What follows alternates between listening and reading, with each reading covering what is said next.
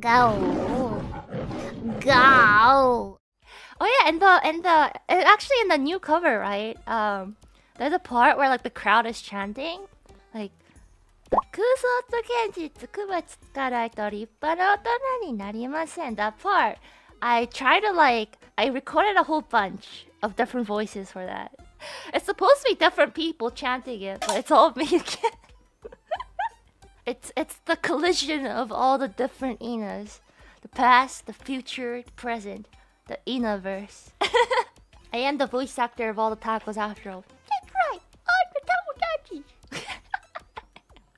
we all sound like him, Tara. Totoko, Hashiru Takotaro. Michael Moose? It's not Michael Moose! I have different voices other than Michael Moose, okay? I actually have a confession to make. I'm actually voiced by Michael Moose. You know, my Inan is actually voiced by Michael Moose. This is just a a, a, a voice changer I use, you know, to sound like you know my enemies. But really, I sound like this. No way! I know. But we sometimes gotta do this, cause I cannot, I cannot be a cute VTuber with a voice like this. Okay.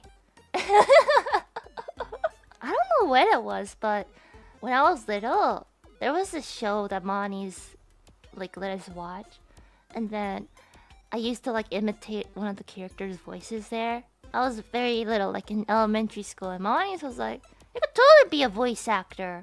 I'm just like, nah. I guess I guess that didn't really click into me until until you know like two and a half years ago. Look where I am now. you know what they say, Mama knows best. Honestly, maybe she's a time traveler. Maybe she knew.